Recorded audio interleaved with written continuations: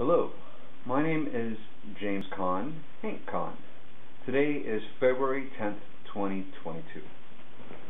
Yesterday, I filed 67 signatures of registered California voters to have me placed on the ballot, the California ballot for United States Senate.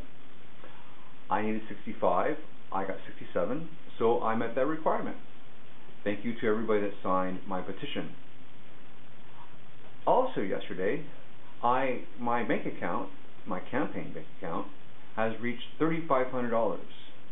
The filing fee to be on the ballot is $3,480. I'm at that goal.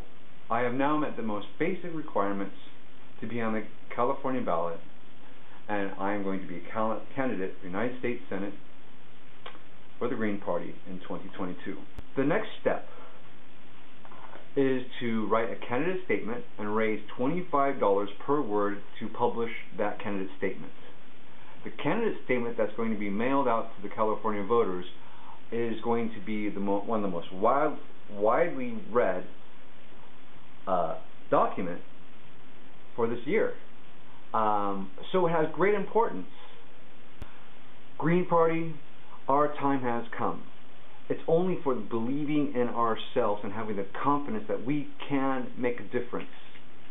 If you were to look at the past 30 years of the Green Party platform, and you would see that we had kind of a foretelling of what would happen if corporate corruption was allowed to be free reign in these past 30 years.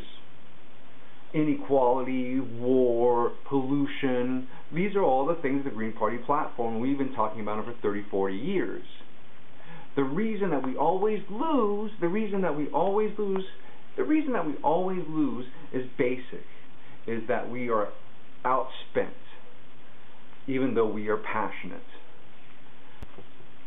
Our time has come only for the believing in it. We must believe in ourselves and the message that we have today. That we must put the environment above profit and companies